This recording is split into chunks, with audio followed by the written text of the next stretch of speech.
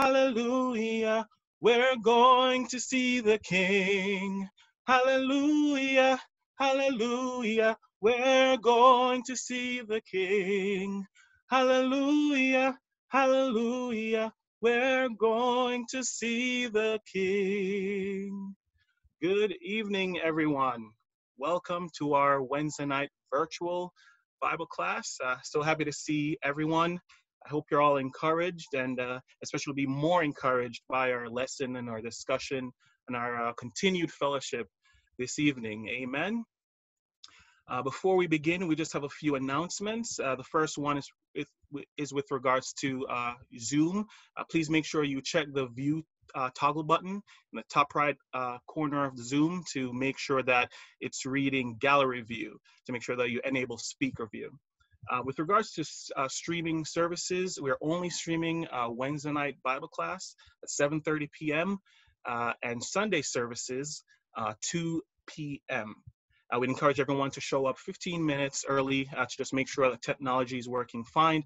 And we are streaming on uh, YouTube, Facebook, Zoom, and Instagram as well. Next slide, please. Uh, with regards to contribution, uh, we have uh, two options. You can do it online using Subsplash or also mailing a physical check the week prior to the following Sunday. And uh, we just ask that you continue to help us uh, share the gospel in social media by liking, following, and subscribing. Next slide, please. And uh, if I know we're using an electronic device right now, but uh, any additional uh, devices that would be dis uh, distractive to us, we ask that you just put it in vibrate mode, silent mode, so that we're all focused. And with that said, let's open up with a word of prayer.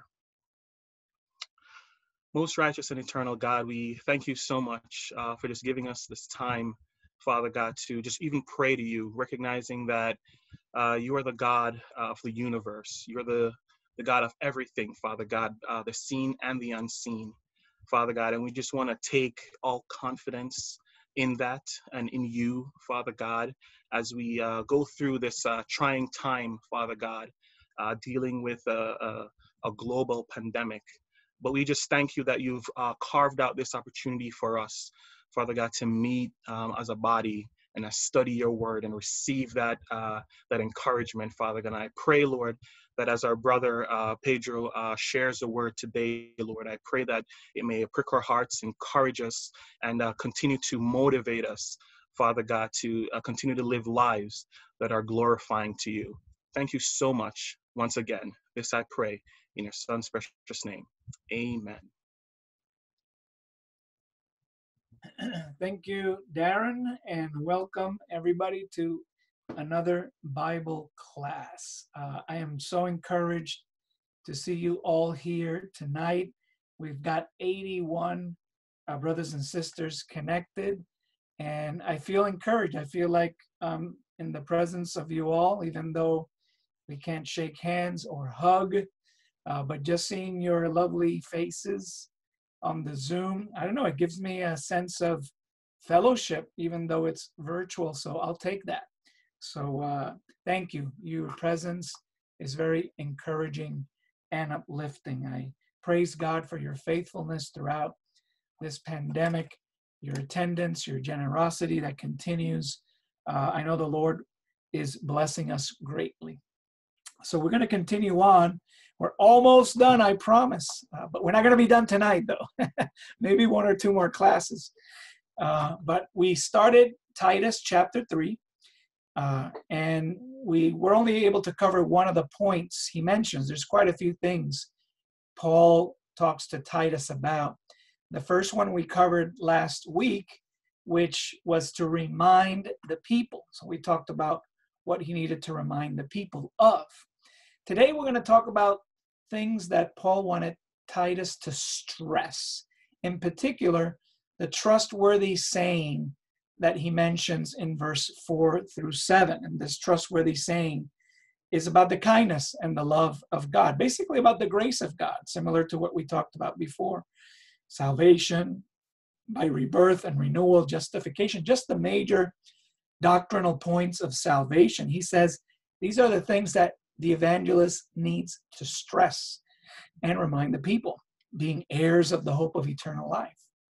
Then the last few things he mentions in chapter 3 is avoiding foolish controversies and warning of divisive people. Then the last thing he mentions in Titus is that the evangelist should really do everything that he can to help brethren accomplish their mission. So that's kind of like an overview of what we're going to do today. We're not going to finish chapter 3 today, possibly, but we're going to cover most of it. so let's go to verse 8 of Titus chapter 3, where Paul will say, This is a trustworthy saying. And I want you to stress these things. So, what was the trustworthy saying? Well, we're going to read verses 4 through 7, not now, but verses 4 through 7 is these trustworthy sayings that Paul says here I want you to stress these things.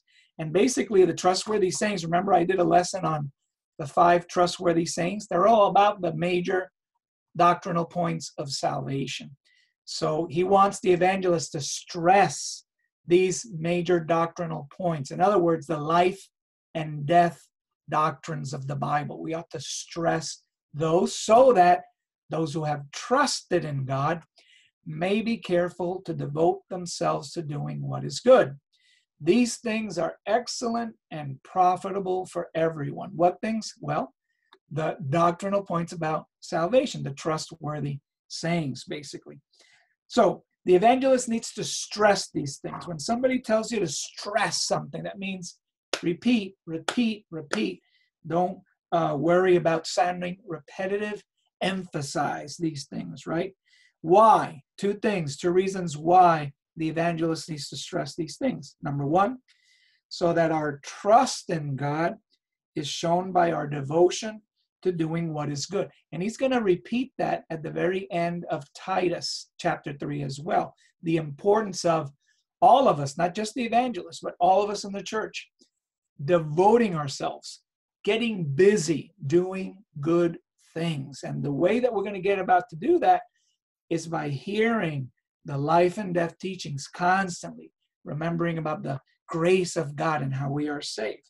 The second reason why the evangelists ought to stress these things is because uh, so that everybody is blessed by what is excellent and profitable, so that everything can be advantageous for the members. So, what are the things that he wants to stress? And here's where we're going to go on verses 4 through 7 of chapter 3. So, we're going to take this verse by verse. These are life and death teachings, right? These are the doctrinal points of the gospel that the evangelist needs to stress. The kindness and the love of God that appeared. Well, how did it appear? How did God's kindness and love all of a sudden appear? Of course, in Jesus Christ. Paul will say to the Philippians, Jesus, being in very nature God, did not consider equality with God something to be used to his own advantage, but made himself nothing. And being found in appearance as a man. This is the appearing of the kindness and the love of God incarnate in Jesus Christ. And so the proof of God's love is the cross, John 3:16. For God so loved the world that he gave his one and only son, so whoever believes in him shall not perish but have eternal life. So the appearing of Jesus is proof that God really loves us.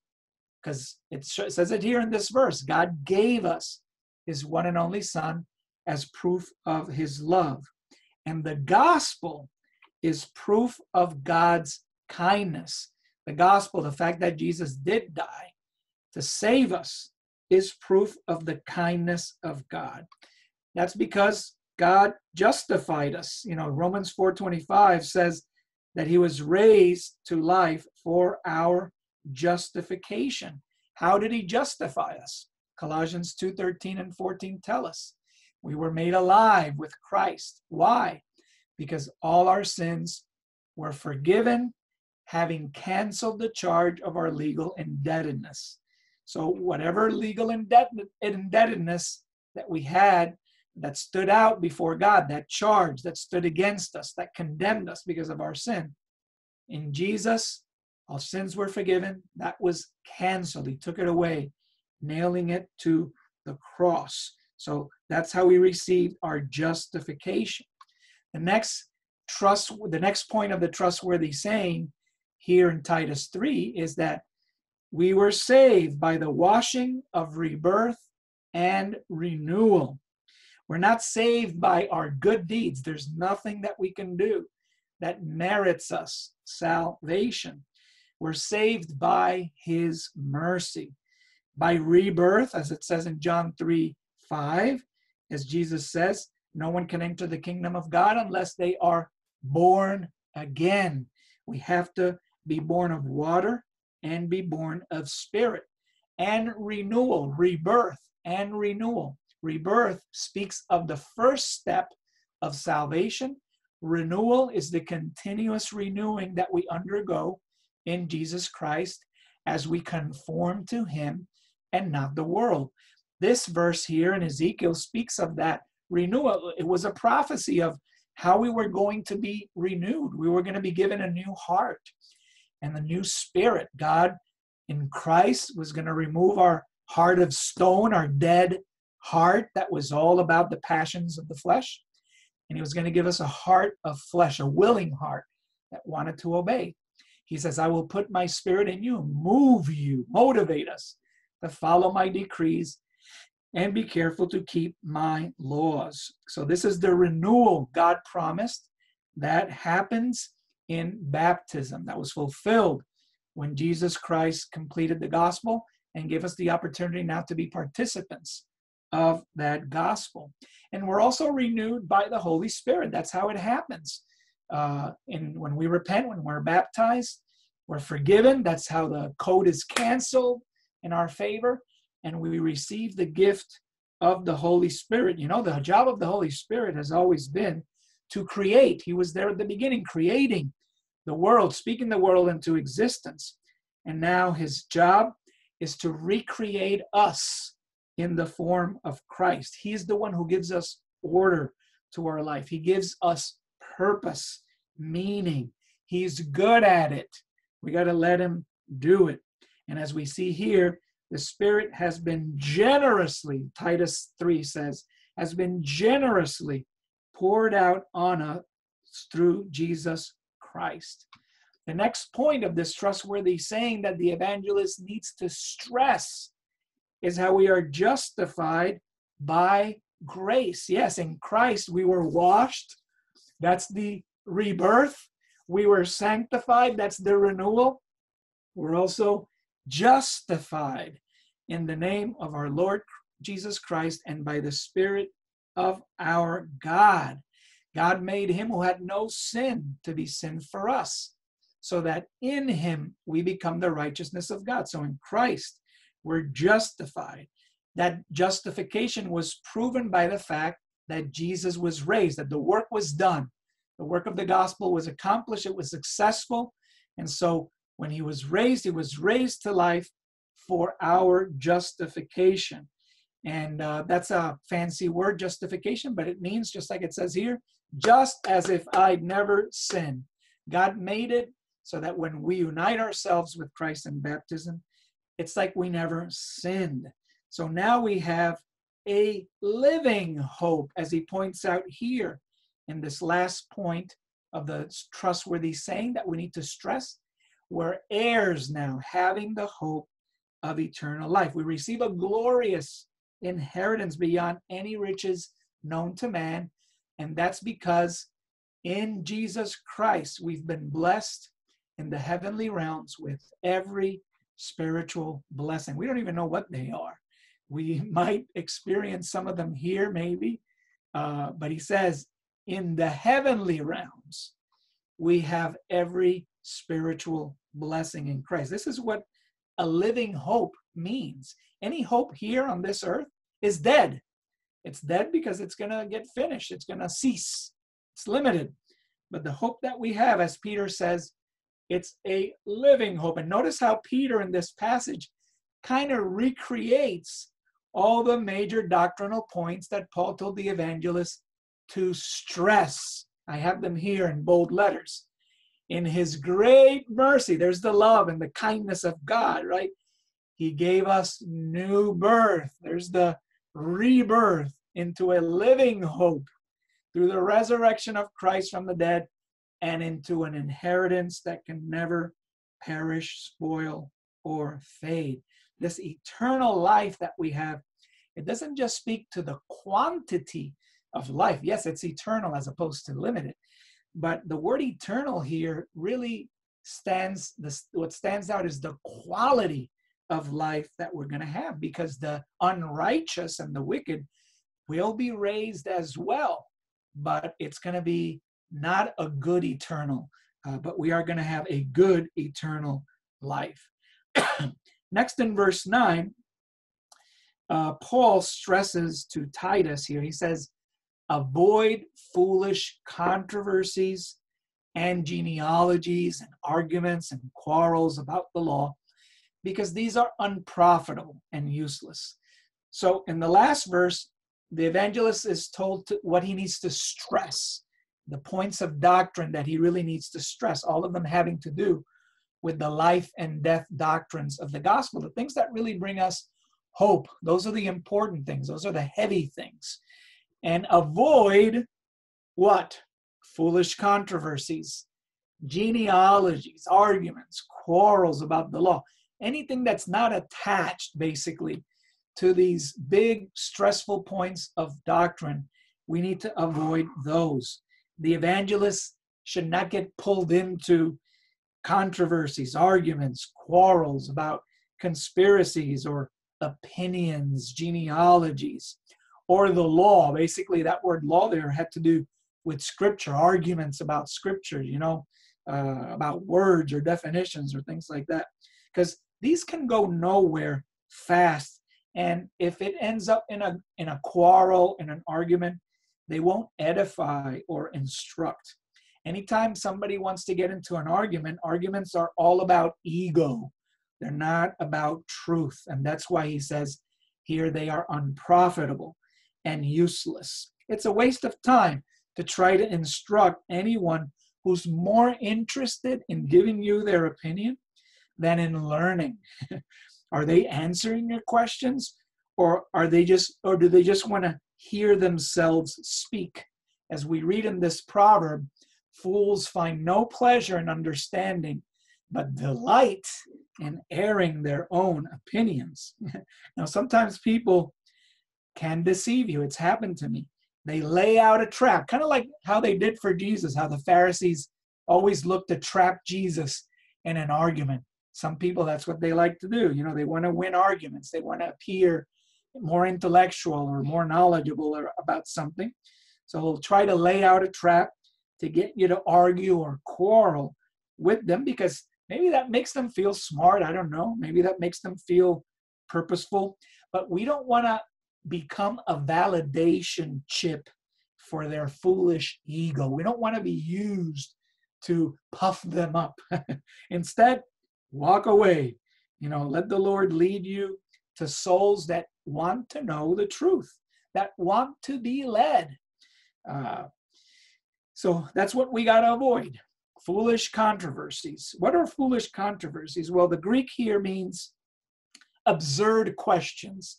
Uh, sometimes people like to pose what ifs, and sometimes they want to make a case out of a what if, which is a totally made up situation. It's it's unreal. It may never happen.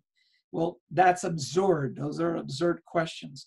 Uh, uh, disputes or foolish themes genealogies. What does he mean by genealogies? Well, the Greek word there means tracing by generations. That was very important for the Jews of Paul's day. You know, they traced their rights to priesthoods by claiming to be in the lineage of Levi. So for them, it was very important that they were able to trace their genealogy. And so they might have validated someone as a legitimate teacher just because he came from the gene- genealogy of a priest. That was their specialty.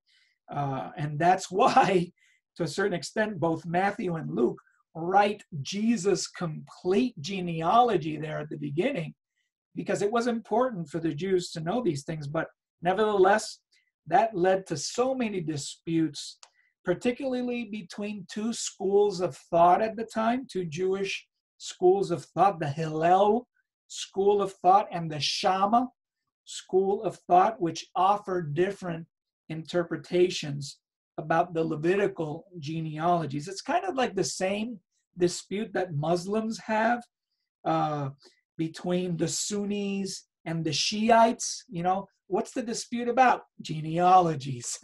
so, I mean, most of us don't really care about that nowadays. But for the Jews, it was very important, as it is even for the Muslims. what about dissensions, arguments? Arguments are dissensions, contentions, uh, quarrels about the law, you know, battles, controversies about scriptures, people saying that the Bible contradicts itself or that uh, this passage doesn't mean this, it means that, and they want to get into all the Greek vocabulary. You know, there is some value to understanding things, but not to prevent, not to present a controversy or a dispute. We want to get to know the scriptures to present the cohesiveness and the importance of the trustworthy sayings, the life and death points, doctrinal points of the gospel. Engaging in a debate or in a discussion, you know, some people think debates are healthy and some may be if they're done correctly. But most of the time, if it's going to end up in disputes, he says here it's unprofitable, it's useless, it's worthless. We're to defend the truth against those who speak foolishness, but we defend it because we're interested in those who want to believe and want to accept the gospel, those who seek to be divisive, like Paul will say in the next verse here in verse 10, they, they are self condemned and need no defending, as he says. Uh, sorry, in the next verse, verse 10, he'll say, warn a divisive person once, then warn them a second time. And after that, have nothing to do with them. So the evangelist needs to warn these people who want to continue engaging in a controversy.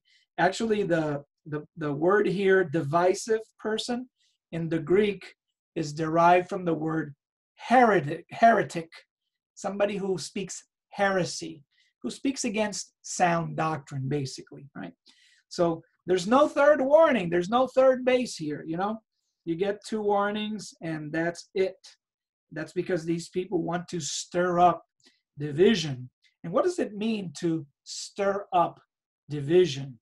As he says in verse 10, he says, uh, warn a divisive person, people who are heretics who want to stir up division. Well, stirring up division can look like defiantly opposing the leadership of the church. We have various examples in the scriptures. I'll bring them to you in our next Bible class. We'll get a little bit more into this verse. But uh, Jannes and Jambres opposed Moses, and many other leaders just, you know, right up and disagreed, and and not because of a reasonable thing, but just because of their ego, just because they were proud, just because they wanted to stand out.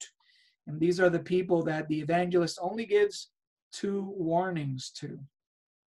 To stir up division also means to break up from the fellowship, to, kind of, to start your own group, uh, which in the New Testament some wanted to do. And Paul uh, condemned them right away for trying to do that, breaking off from the fellowship, starting their own school of thought.